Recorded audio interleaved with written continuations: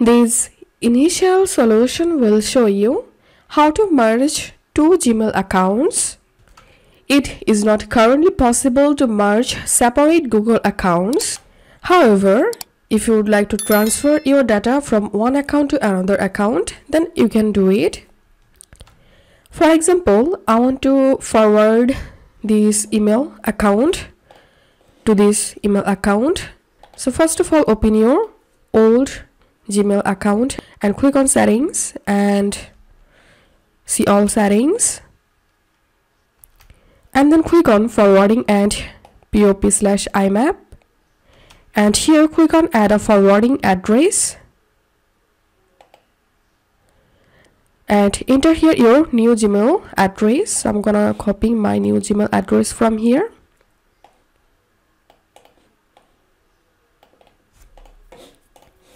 and I'm gonna pasting the Gmail here and clicking on next.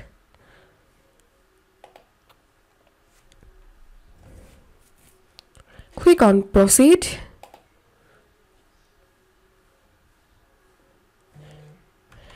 And a confirmation code has been sent to the Gmail to the new Gmail address. I have to verify the permission. So I'm gonna opening my new Gmail and opening the confirmation mail here and clicking on this link confirm. Here we can see I've successfully confirmed and now I'm gonna reloading this page.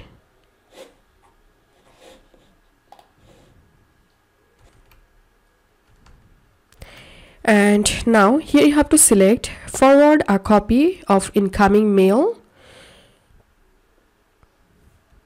to the new Gmail here. And then you can delete all of your mails from your old Gmail by selecting delete Gmail's copy. And now click on save changes. And here you can see you are forwarding your email to this Gmail account. So this is how we can merge two Gmail accounts if you find this video helpful, make sure to subscribe Initial Solution. See you in the next video.